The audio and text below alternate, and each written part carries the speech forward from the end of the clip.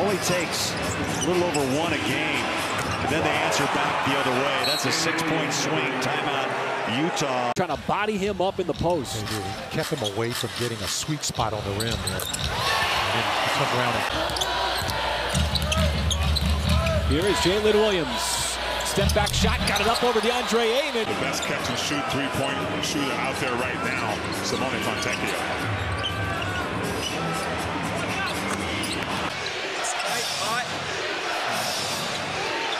It's Jalen Williams trying to work, and he'll put up a three.